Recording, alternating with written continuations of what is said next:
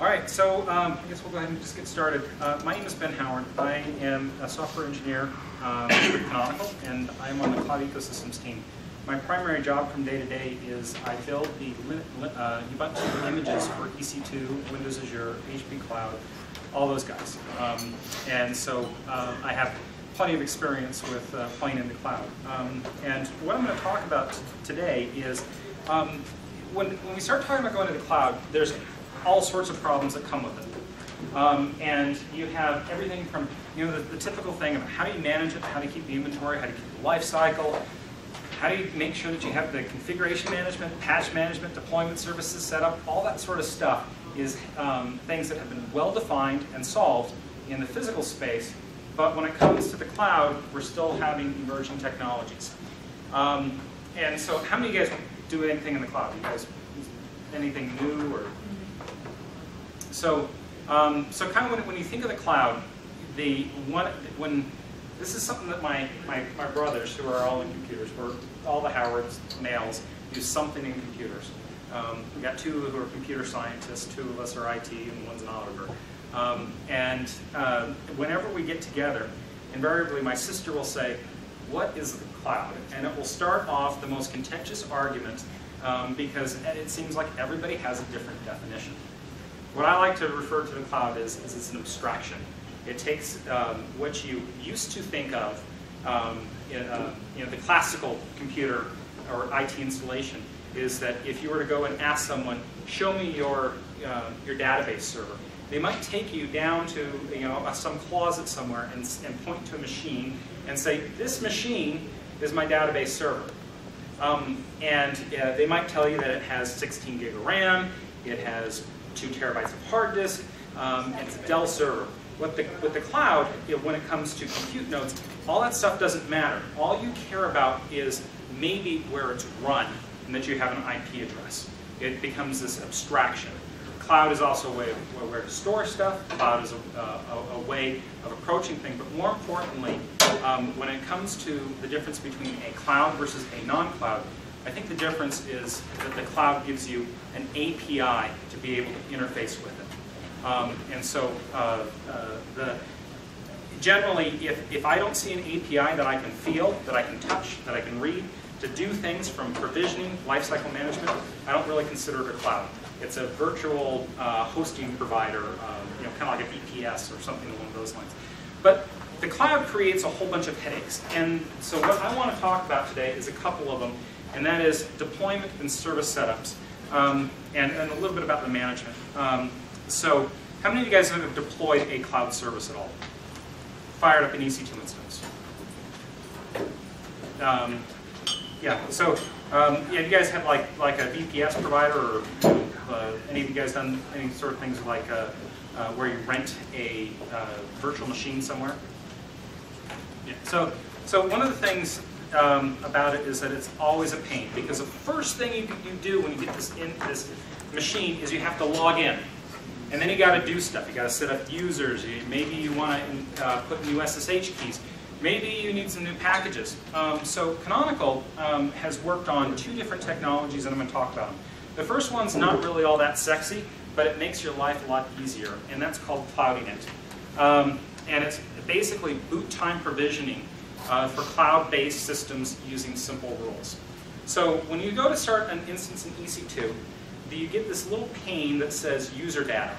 And if you've ever wondered what that is, user data is just an arbitrary blob of data that you can drop stuff and say, eh, here, go do something interesting with it. Um, and CloudInit handles um, the provisioning um, so that um, unlike some of our uh, some other images, what Ubuntu does is what the cloud images that are uploaded to all the clouds, it has no identity, it has no keys, nothing. It's a blank image that has never actually physically been booted ever.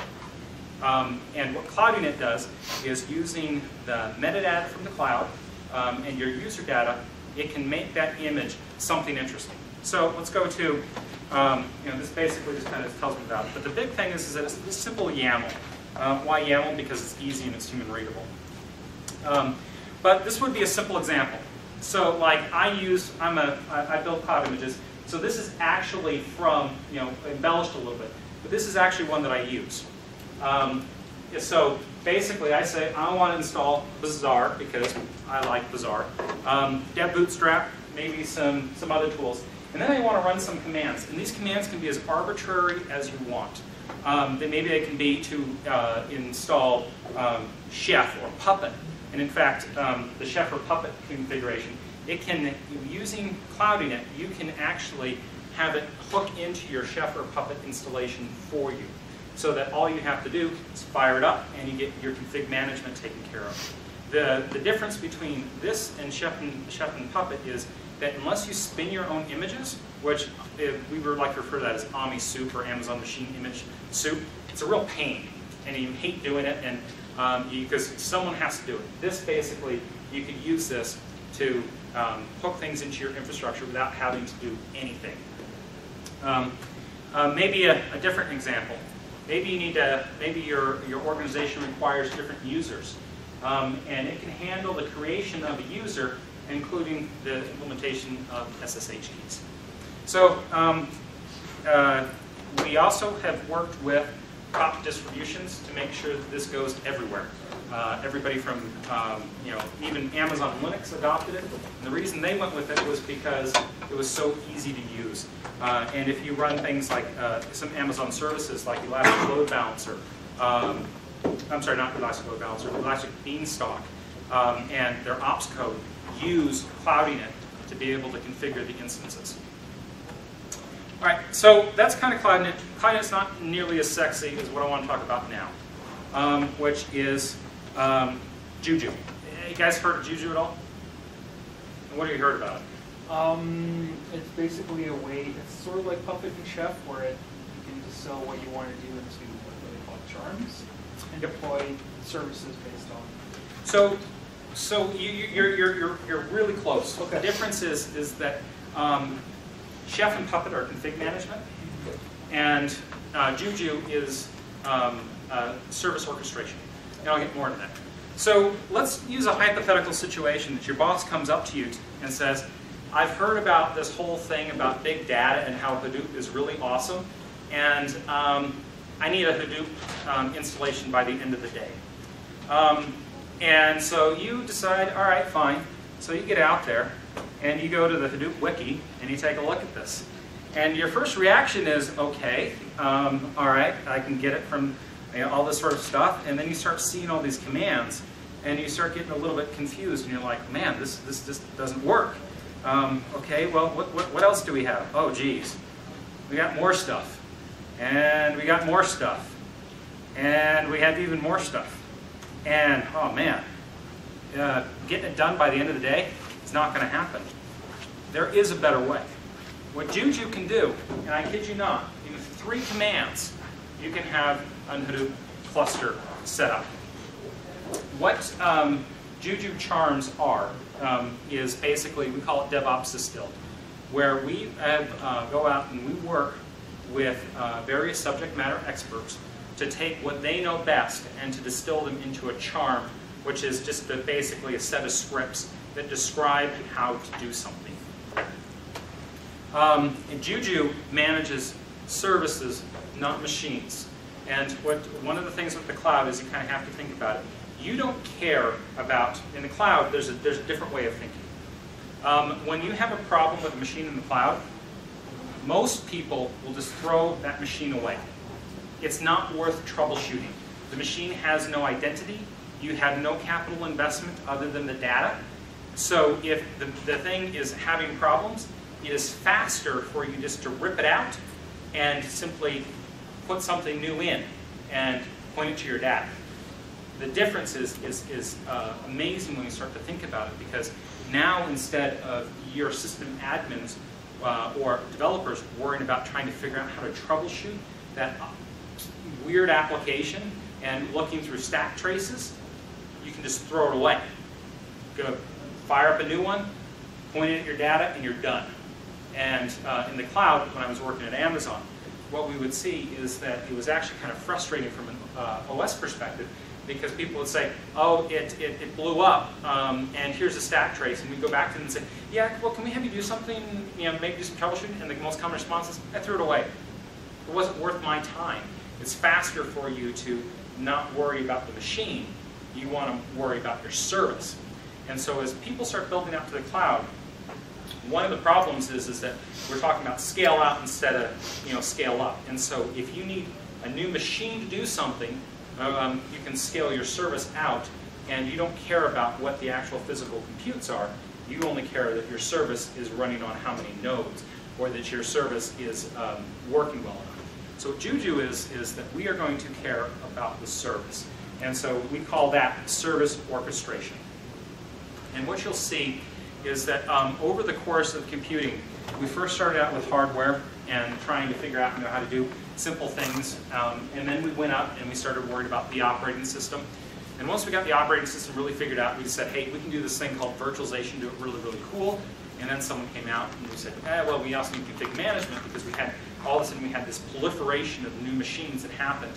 And then service uh, orchestration is one step above it. And um, I, I didn't wear my shirt because my wife didn't want me to wear it in Utah.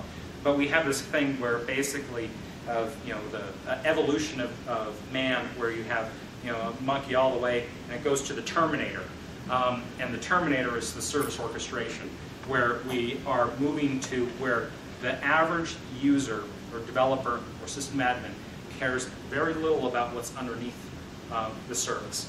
You need to run a Drupal site, you, can, you worry about being an expert in Drupal and the content that you put into it. If you want to run a Tomcat installation, you worry about your WAR files, not about Tomcat. Um, and that's the, the, the fundamental shift that Juju is introducing. So the question is um, exactly, you know, what I've talked about so far isn't all that kind of you know special. Everybody's going to be like, well, okay, whoop-de-doo, you have um, uh, you know service management, but that doesn't really make a whole bunch of a whole lot of sense. What Juju, the magic behind Juju is that you can bring up discrete units. Um, and let, us say, for example, your, your lamp stack. Um, or actually, we'll go back to our Hadoop uh, example. As part of the, the bootstrap, you got you have a Hadoop master and you have a Hadoop slave. You got to get those two talking. So what the charms do is they, they uh, talk about or you define interfaces where the Hadoop master, you can just simply with one command get them hooked up. Um, and that is, um, so any, any questions so far? So I guess where you, where you run, go back to that other slide. Um, so you're doing Juju Bootstrap and deploy Hadoop Master. I mean, is that all running on the same machine or is that then going out and building? Well, um, so for, for the Bootstrap, it goes and creates a Bootstrap node, which is basically your master environment. And actually at the end I'll show, show you that. Um, but then for each of these, it does um, one machine, these are simple commands, does one machine for the master and then for each slave. And you can actually get fancy. You can say that you want your Hadoop master to have 8 gig RAM and uh, your Hadoop slave to all be 1 gig of RAM because you know they're just little workers and they don't need to be as beefy. You're going to scale out. So, uh, but, but uh, we are working on our next version of Juju allows you to do uh, co-location so that you can put a whole bunch of things on one node to use uh, resources more efficiently. So, um, but there, there's another problem, is that as services change over their lifetime, you need to be able to manage them more effectively. And you have a whole bunch of different questions. Um, you know, like, like how many instances? Let's, let's take a, our, our Hadoop example again. Uh, you start out, you built this really simple, small Hadoop cluster, um, and your boss comes up to you and says, we need more units. How do you add those units? At the end of that run, how do you get rid of those units? Um, and before it would be, you'd have to have someone go and delete them or someone go and add more units. And it, you, you, just don't have this elasticity. Um, the question is, what services do they depend on? Um, how can you make it so that um, if you have your lamp stack, that your lamp stack has the right services? Um, and the question is, is how are those implemented? What Juju says is, well, that's all not really all that important. Um, because what we're going to do is there's going to be high-level interfaces that um, describe the interactions between the services. Uh, a great example is there's a DB interface, a database interface. Um, and you can say that you need a, a, database interface, a generic one, and then require the, um, the charm to be able to understand how to talk to them. Um, but they have provides and requires interfaces And Juju models the relationships between the services and not the machines, and that's the, the most important thing. A charm is what, what I was saying is DevOps distilled. It's reusable, codified, best practices, um, and uh, the communication happens between the interfaces. And the best part is it doesn't require foreknowledge of who's actually going to use it or how they will use them. All you have to, uh, all the charm does is basically describes it. And this, seems foundationally different than what we're used to. Um, and so here's, here's a logical model. So let's say that you have MySQL and WordPress. Really common, easy setup. And a logical model is that you have a relationship between MySQL and WordPress. You don't care, what you'll notice here is that you don't care how many WordPress installations you have. In the concrete model, what we do is we, we see that in MySQL, which is represented by this relationship, Juju comes along and makes sure that the, both WordPresses are actually connected to the MySQL database. Um, and then, you know, as I talked about scaling, scaling is kind of important. Um, this would be how you scale out a unit. Just simply say, I want another Hadoop slave. Maybe you want another one? You have another one. If you wanted to add 10, you could do a dash n10 and scale out 10. And what Juju will do is as these new units come on board, it sees that the uh, Hadoop master, we have a relationship to the Hadoop master to the Hadoop slave, it will then simply add these as part of the relationship so that the scaling happens seamlessly. You don't have to go back and rerun that command. Are- the charms open source? Like Yes, they are. everybody makes them. There's probably some big repository of Um. Yep, and, I'll, and I'll show that to you. Um, and in, in fact, um, if you're anybody who's interested in kicking the tires, we're, uh, we'll mail you a T-shirt if you submit a charm, if you like free swag. Um, so the um, important thing is, that uh, it, it basically um, treats services as atomic units. We like to call them as atoms. Um, and they are formulas that can be instantiated either one time or many times. That doesn't matter, and what it do does is it handles all, getting everything all done. So um, what you'll see here is like in a very simple thing, we have a cloud app. Maybe your cloud app is, is, is super awesome, it doesn't really matter, and we need to add another one, and we can just keep adding more and more. That doesn't matter. But then, um, you know, you, uh, you have decided to run a Super Bowl commercial, and your cloud app is just getting absolutely hammered, or you're expecting to get hammered. And so um, you can provide dependencies, um, so that maybe what you can do is you can put a load balancer in front of those. Um, and as you scale, um, you maybe you decide you need to actually have a, a SQL database, you know, because that's really what people do. Um, and um, now you need HA proxy to help because you have a whole bunch of load balancers. Um, and maybe your MySQL database is getting hammered, and you can just simply add more and more. Um, and the other interesting thing is, like, let's say that HA proxy isn't working for you. You can swap it out, or just rip it out, and we'll add varnish in front of it instead. So you can get some caching services.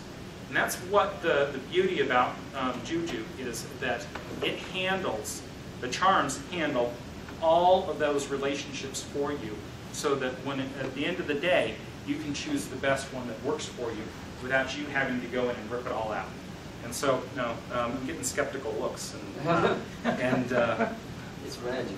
it's magic. And and um, the uh, uh, and the reason I'm kind of rushing through this is I'm going to show it to you in a GUI form uh, uh, in just a minute here, um, which shows you that uh, which will actually show the creation. We'll actually create a couple services. Um, so, um, moving on. Um, so basically, it, it handles, you know, like I said, it handles these relationships. It's elastic. Um, as you add new units and as you remove units, it will actually handle the relationships. So that, like, let's say, for example, you have uh, a bunch of MySQL servers and you need to rip a couple of them out because you aren't using them. So you remove those units. Juju will then make sure that the relationships are properly set up so that you don't lose your data or that you don't end up uh, in a situation with a broken service. And so you can see that, you know, here we scaled, you know, you know, we can take one away, maybe we add some more SQL servers, add another varnish on top of that. And we end up basically there. So now, um, so it's a uh, the, let's see, this is not gonna work for me. So one of the things um, here is that we actually have what we call the Juju charms. These are all charms that you can go to today on jujucharms.com, and these are peer-reviewed um, charms. Uh, these are all open source. They're, uh, you can go today and start playing with them and use them, um, and you can do, do, do deployments. You can do everything from, and I kind of wish the OpenStack guys were around here, um, but if you look at Mark Shuttleworth's uh, OpenStack demo, I think it was two years ago, we deployed on bare metal OpenStack using Juju and what we call MAAS, which is Metal as a Service.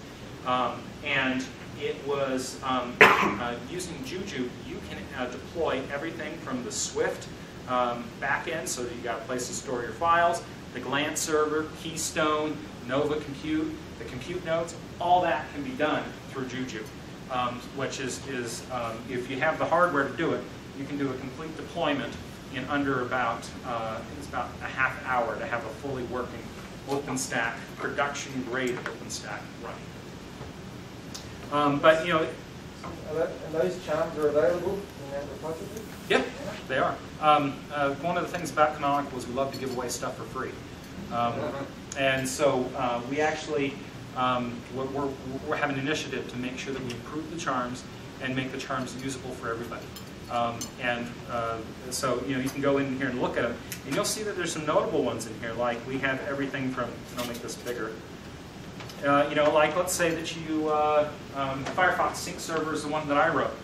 Say you're paranoid and you want to be able to give everybody a place to uh, synchronize their data. You could deploy the sync service. Or uh, maybe you want to run, uh, you we got everything from HA proxy, Jenkins, um, you know, the, a LAMP stack. Uh, you know, basically we have some um, some big ones. E even like uh, you know down on the bottom, we have uh, uh, you know uh, Redis, and so there's over a hundred of them here. And one of the ones that we have like that is you know for your Minecraft people, we have Minecraft server charm, so that when you want to get together with your buddies, you can just simply run a Minecraft server for them. All right, so that's all nice and everything. We also have a GUI. And this kind of is where things get a little bit magical.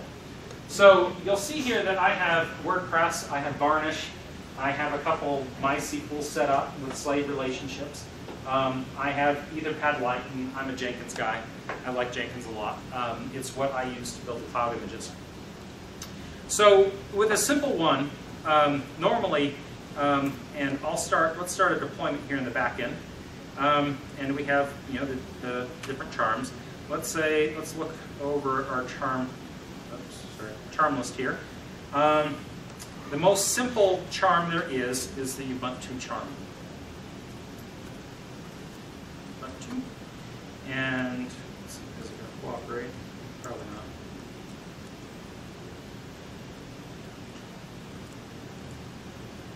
Sorry, the, um, there we go. And so we can go here and deploy, and confirm. And what I, uh, what you can see in the back end here, this is my logs. It's going out and it is creating a new instance. Ubuntu Charm is nothing more than an SSH session. Or not SSH, it just brings up a vanilla instance. And when it's yellow, it's currently deploying. And when EC2 comes back, um, when it checks in, it'll turn white. Um, and if it goes bad, it goes red. Um, but you know that's nothing, not, not, not too interesting. Let's uh, let's take a look here at my my Jenkins instance, and I have this as it's coming up. Um, so one of the things about Jenkins, how many of you guys have used Jenkins at all? Continuous integration, all that. You know, Jenkins is simple. It's easy. I love it. It makes my life wonderful. Sends me emails that I don't like. Um, but one of the things is like, let's say that you need to throw up a, a quick Jenkins. You can do a Juju deployment Jenkins, but then you, there's also this other one over here, which is a Jenkins slave. Um, normally, when you do a Jenkins thing, you got you know, you can go ahead, fire up an instance, create the SSH connection so that you can do a Jenkins slave over SSH, or you have to go and install the, the client. But there's an easier way. with building the relationship with the GUI, I go like that. And now I just gotta wait for things to settle. And I'll go back to my logs here just because I like, I like looking at them. And you'll see that if, if something goes wrong, you'll see it actually gets set here. And so I see that my slave has been added. And I can go back over to my Jenkins thing, and what do you know? I have, on the, if you look on the left side, I just have right there, I have a new Jenkins slave. So if my Jenkins thing, let's say that Jenkins is not working all that well, and um, I need more, more nodes, I can go here, I can add five new nodes. And you'll see it go, goes off. It's now working on creating a bunch of new notes for me. And um, I can go back here and I can see that I have um, in the little thing, there's a bunch of notes uh, that are being deployed.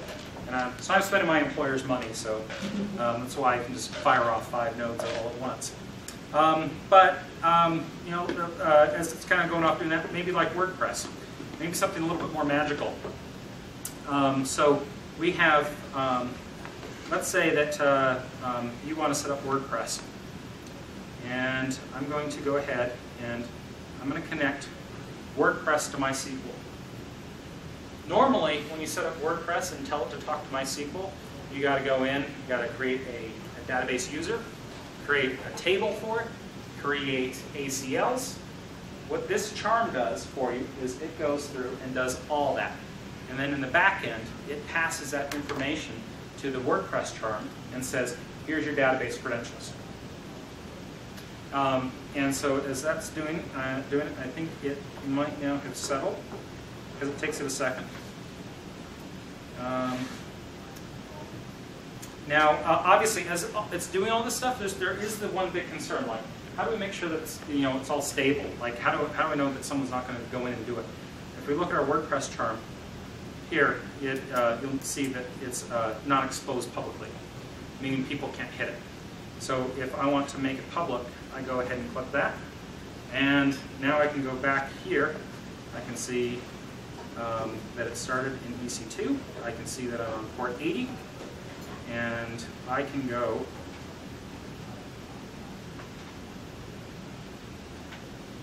Oh, it hasn't created my database connection.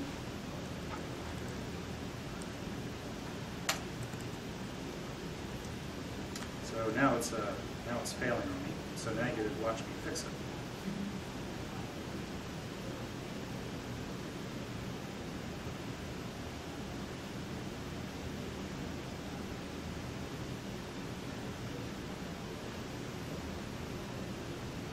Now we know it's real, not just smoke and mirrors.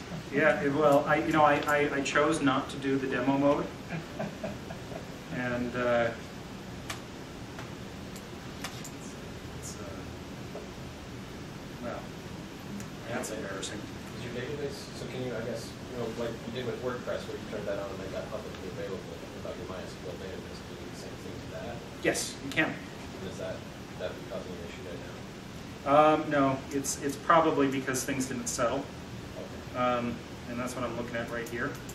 So it's not as, you know, magical as that it, you know, takes just a, a, you know, a, a few seconds or something, but like,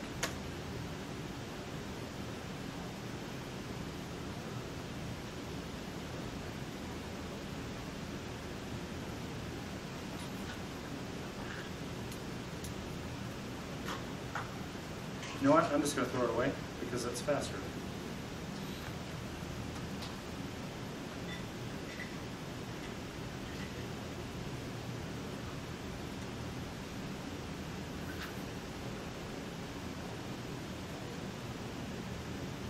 So now, like, what you can see here is that there's a bunch of different ones. You can say what you're gonna front it with. Create MySQL. WordPress going. And I'm going to go ahead and, because I'm costing a bunch of money and I'm not using it, I'm going to delete that service. Now you go, what you'll see is, uh, you know, there's a whole bunch of stuff going on here in the back end. And you'll see that my Jenkins nodes are currently in the middle of, um, you know, doing whatever their configuration is. Um, And I can go here and I can actually look to see what's going on, what their state is, that they're, they're pending. Um, I have one that just started, which means that when I go back over here, he's currently offline. I had a new Jenkins slave that just checked in.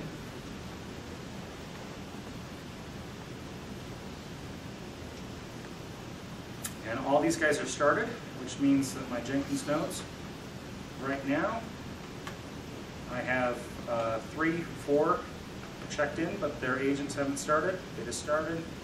We have one more here. And um, part, part of the reason why they're kind of going on and offline is because of uh, what ends up happening is they, um, they, they do a couple start and stops. So I've just created a five node Jenkins instance with a click of a couple buttons.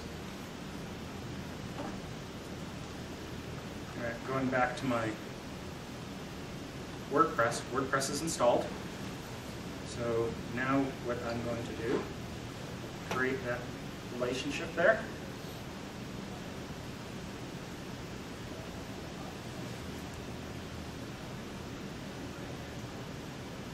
So you can see that obviously there's a lot of, lot of output going on here.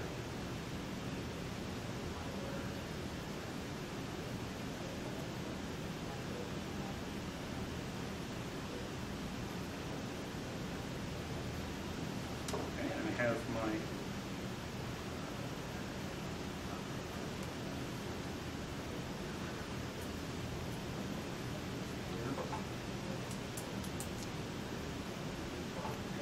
Guess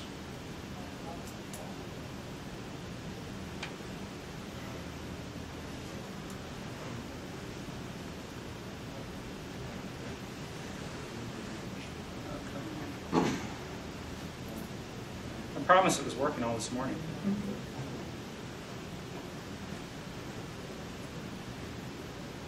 That's because it hasn't finished the database yet.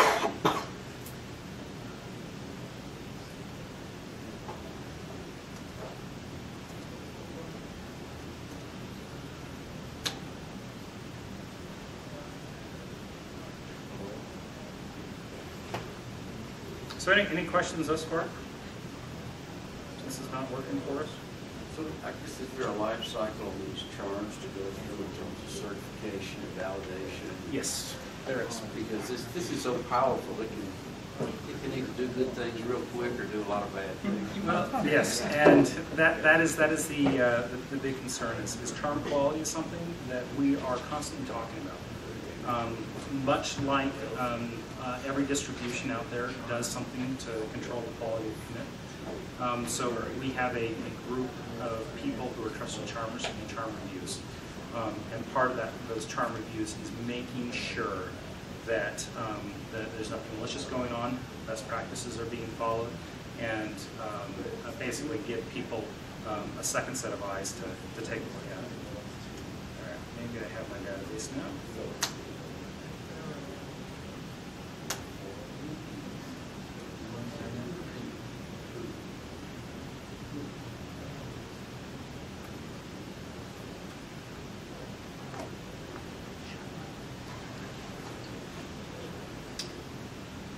So, you know what? One of the interesting things about this is, we have a look at the time, and I think I corrupted my environment. I'm just gonna throw it all away. Start over. Is it, uh, how flexible it is with with what Cloud you pick? You're using Amazon Web Services here, I mean, is it run on OpenShift? Cloud Yeah, OpenStack, yeah, it has native OpenStack, HP Cloud, um, and EC2.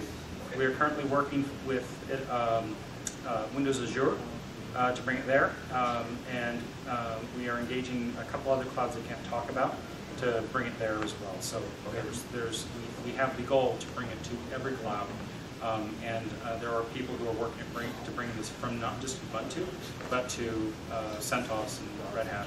Um, And someone did port it to SUSE. I don't know if they've made it public yet or not.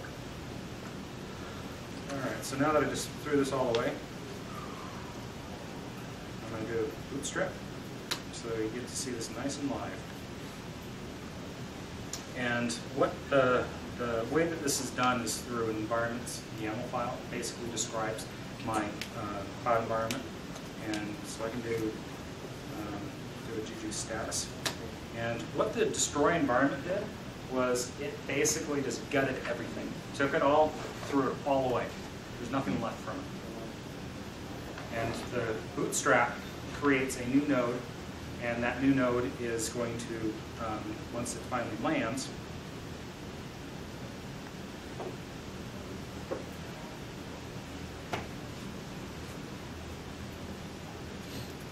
and I'm going to deploy, as soon as it hits, I'm going to go ahead and create a new GUI environment.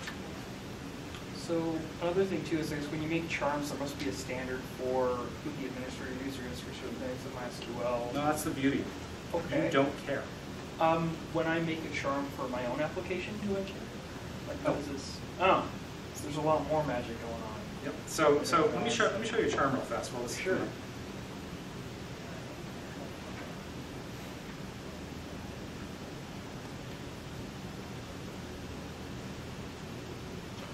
So there's different events or hooks which, which happen, and when you create a, a database relationship, it has what's called a database relation changed. And what happens is that um, uh, the one that creates the relationship is required to send over certain keys. Okay. Um, and one of them is the host, the database, the user, and the password. And so what the, uh, on the other side, when uh, we go ahead and we click that link between the two, MySQL guy says, okay, so I need, I need to create a new user, and it goes ahead and, and like I said, it creates the user, the password, the, the table, sets the ACLs, and then it simply sends them over to this guy and says, no, you got to do what you're going to do with it. So um, in some cases, what you'll see down here is like where there's the configuration that happens in the uh, UR, URI, then the application creates its tables because it has everything set up. And one of the cool things that Juju is doing here in the, in the back end is it's plugging everything together for you. Um, so that if you have uh, like uh, you know, ACLs that need getting set up on, on the network level, on the, like EC2 for example, can allow you to set uh, ACLs, it will set those ACLs um, as part of that process because you're creating a relationship and saying, okay, you're creating a relationship, I'll make sure those two can talk. So that's part of the magic that's going on. That's what I, what I meant by you don't have to worry about things um, like you used to. Um, and then, like, if we go and you can, and that's the beauty about these things is that they're so, um, they're open source. If I go down to the MySQL charm, where you see that there's all these different relationships here, and um, what the uh, corresponding one is on relationship joined, and it goes through and read basically what happens and see that like it does a grant and whatnot. But the thing about these charms is that they can be written in, and notice my Firefox sync was written in Bash. This is written in Python. Um, if there are ones that are written in PHP, um, you get Python, someone decided to write one in Go, you can write them in CSH if it really suits your fancy. The thing about the charm is that uh, it's about distilling the operational knowledge. So if you, whatever is the most comfortable is what you can write it in. As long as you have a shebang for it, Juju is happy with it. All right, so my guy is up now. Now I'm going to do a deploy of this guy here. And this sets up the GUI. Now what you'll notice here is that um, Juju is a command line tool, but we have a charm, which is the Juju GUI. And the GUI, and so the two are, are a little bit different. Um, but what this does now is I'm have everything set up, so I'll go Juju deploy um, WordPress. And it goes out, and which you'll, if you notice there, it says it's going to the charm store. Um, and those are the approved charms. And let's say that um, you wrote your own magic. Could do deploy dash dash repository equals and local foobar.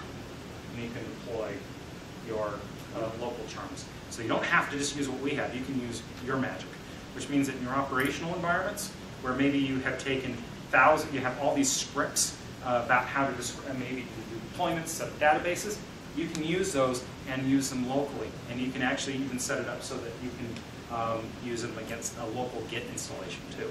So, uh, you know, we're, we're wanting to make it so that everybody can basically get done what they need to get done. And I'll do deploy MySQL. So the reason I'm showing you the command line now is that um, the beauty about the command line is it's scriptable, um, so that you can create environments. And there's actually a, another really cool thing is that Juju can drive Juju. Um, there's a charm out there of Juju creating a Juju environment for the purpose of doing automated testing. So it'll go out, create a Juju sub-environment, then let you do your testing, aggregate all those results back, throw away that other environment. Um, so you can do nested environments as well. And then um, I can do a Juju status, and I should have my GUI back.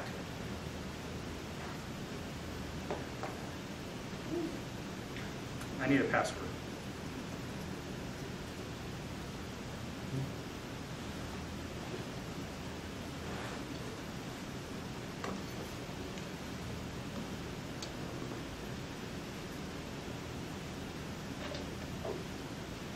And it isn't actually ready yet, so.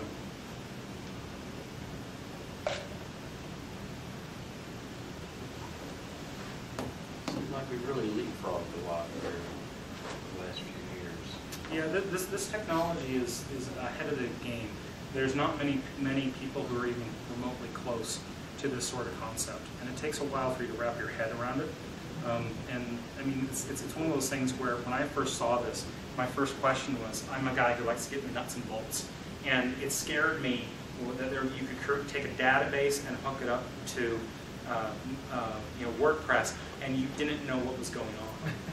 that, that, that I was like, this is black magic, and that's the reason why, part of the reason we got named Juju, was we wanted to say that it's, we're taking care of all that stuff for you. Um, all right, let's see if our environment's back up. And you'll see that, you know, with the different ones, we have um, the pending stuff. Um, and so looks to me as if Amazon is being slow.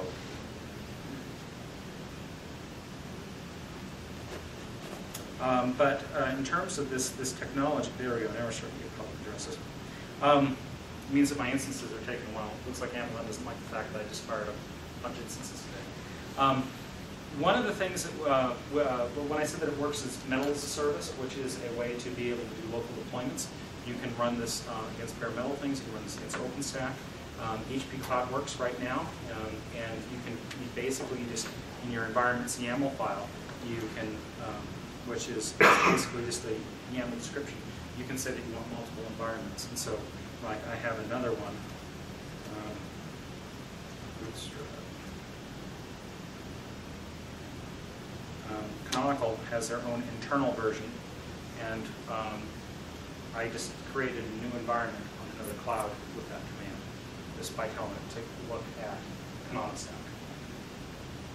I mean, It almost seemed like we're- we're swinging back to time sharing in a way, if if that means anything to you. Yeah, yeah, well, the, the thing, the thing about it is, is that one of the things with the cloud is that, um, you know, in in, in, you know, 10, 20 years ago, um, you would, um, if you built a database server, you go out and buy the hardware, and then, you know, you run it, you install it, and you'd hire some guy to administer it.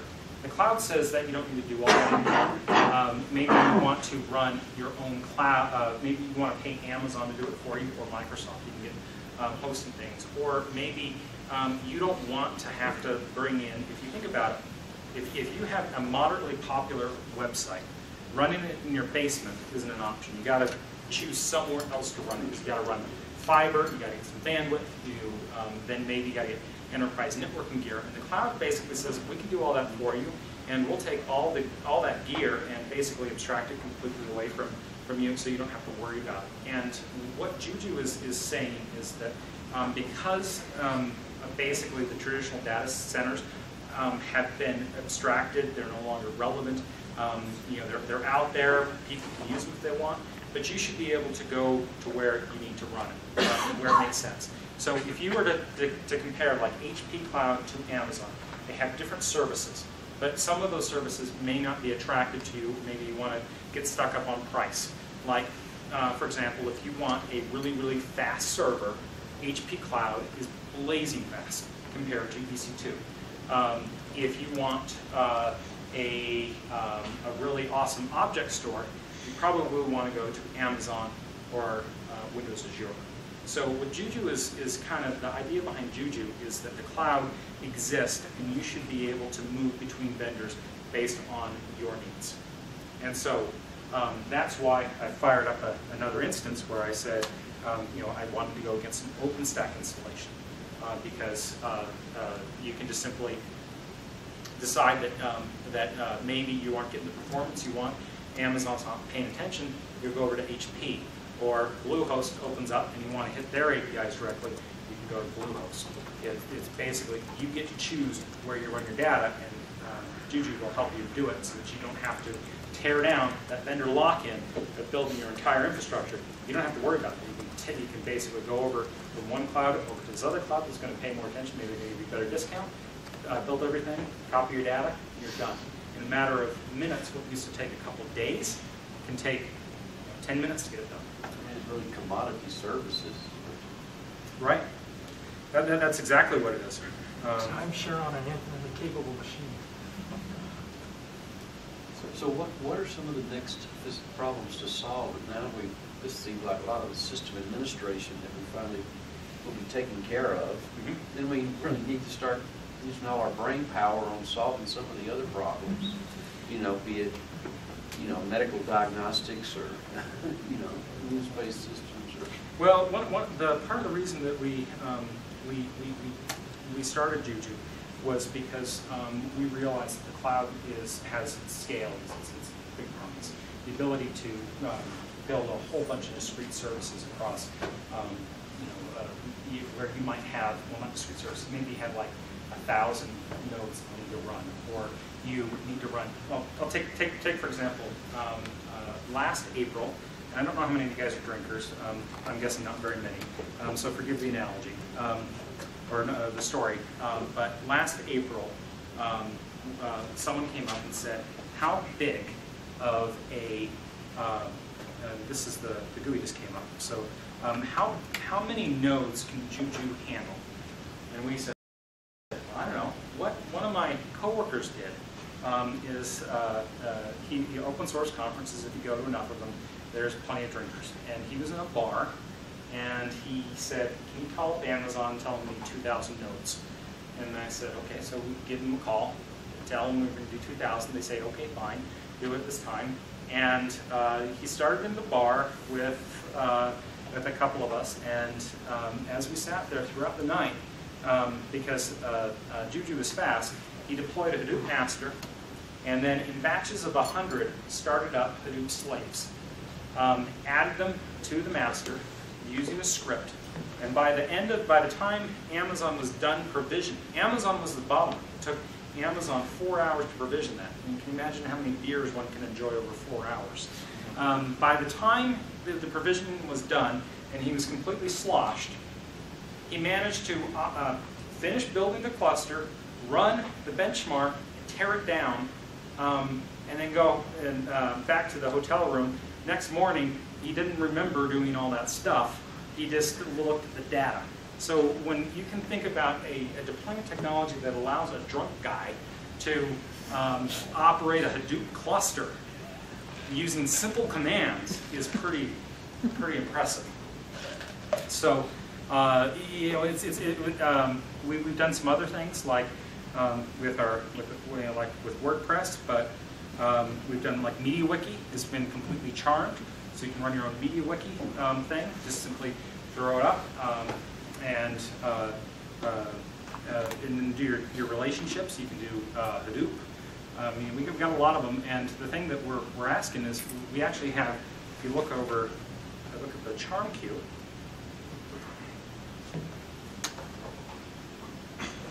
um, I'm sorry, charms needed. This is-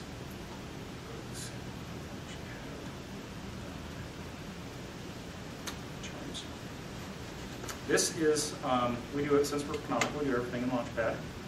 Um, and these are charms needed. And you'll see that, like, for example, Cloud Foundry is, uh, uh, just looks like the fix got committed, it's not fix released. Um, and then, you know, people have filed different bugs.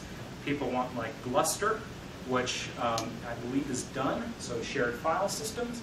If you want to, let's say you want to play with the new hotness of uh, object storage, um, you could do Ceph. Um, do a, a, complete deployment of Ceph across um, the different nodes. And the Ceph charm, for example, um, which is, is kind of cool, um, uses the ephemeral storage located on instance store nodes inside of EC2 to pool all the storage together. And then basically now you have um, your own private object store that you can use. It handles all of rebalancing, all that stuff for you. So anyway, it looks like, like we're running out of time. So questions, comments, Eccles? Um, I, I apologize that the demo fell, fell apart on me. Uh, that's rather embarrassing. Um, Very good presentation, thank you. um, But uh, what you guys can do is, um, like I said, we're looking for people to do new charming, so if you guys want to um, kick the tires on it, we're in Freenode on Pound Juju. Um, And um, we want to, if you have some pet project that you want to, that you're, you find that you do all the time, um, if you want to charm it up and and run it, we send t-shirts to everybody who submits a charm. Um, So if you want to, want to get one of those. And um, the best, uh, the most important thing is, is that we want to see our community grow. We want to see the, the knowledge that everybody here has um, distilled so that uh, other people in the open source world can uh, apply it. Does, does this technology kind of uh, eliminate the need for some of these projects that that used to go on and may still go on where people are giving their free time off their, their servers or their desktops and so on for some of these big analytical projects? I mean, it seemed like this might Yeah, the, the idea was to help them. Um, uh, one of the, um, one of the, the ideas that we actually were, were trying to float is that, uh, if you can, the, the reason why there's all those projects for giving free time is because building a two thousand node cluster is so difficult. Um, or even building a ten thousand node cluster is so difficult, it takes a lot of time, it takes a lot of expertise to build it.